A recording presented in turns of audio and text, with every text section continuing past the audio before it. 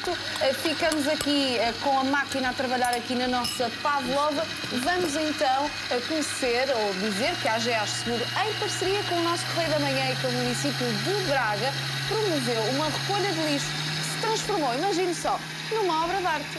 É verdade, o produto final, a escultura do imperador César Augusto, foi colocado na cidade de Braga. Vamos vê-la. Foi este o lixo recolhido na cidade de Braga que passou depois a esta escultura. A imagem do imperador César Augusto que mostra como o lixo se pode tornar numa obra de arte. Portanto, este contraste da obra da frente, primeiro que promove, no fundo, aquilo que foi a origem da cidade de Braga, portanto, e que muitas pessoas, não sei se sabem, portanto, daí a homenagem ao imperador que a fundou, e por trás, de facto, essa, essa imagem diferente com o lixo que, que, de facto a constitui. Foi um prazer imenso, não é? Eh, na questão artística.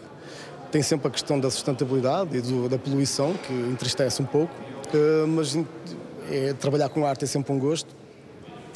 E ela representa o imperador uh, romano, não é? Portanto, símbolo também aqui de Braga. A iniciativa decorreu no âmbito da festa AGEAS Seguros, em parceria com o Correio da Manhã.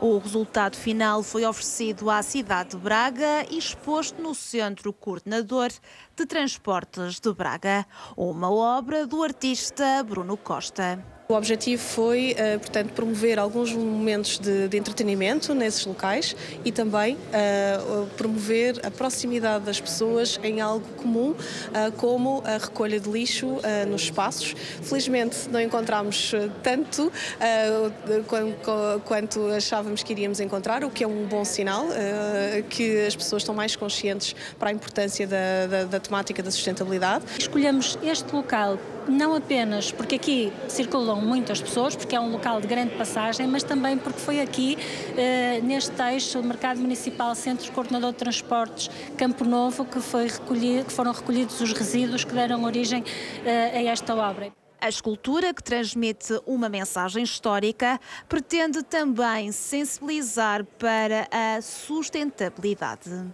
que, no mínimo, alguém que olhe com um bocadinho de atenção para a obra vai ficar a pensar um bocadinho naquelas ações que nós temos no, no dia a dia e em que uh, a ação mais fácil é sempre deitar as coisas ao lixo e agora, quando chegarmos a casa, todos vamos pensar um bocadinho e tentar uh, pensar se faz sentido, pelo menos, dar algum aproveitamento àquele material. Uma obra que surpreende qualquer um e que já pode ser vista na cidade de Braga.